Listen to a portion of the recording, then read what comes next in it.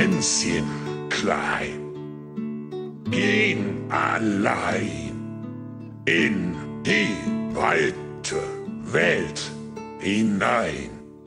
Stock und Hut, bah, scheiße, wer nervt denn jetzt? Was wollt ihr hier? Wir wollen mal mit Xardas reden wegen dem Portal. Nein, Wie nein? mein.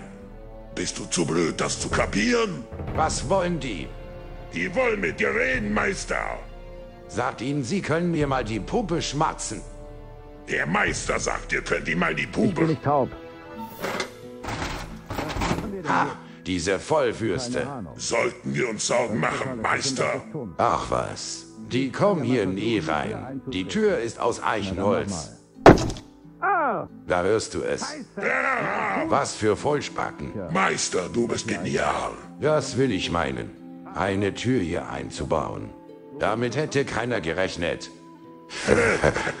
Niemand wird das Portal mehr schließen. Meine Rache ist komplett. Geil.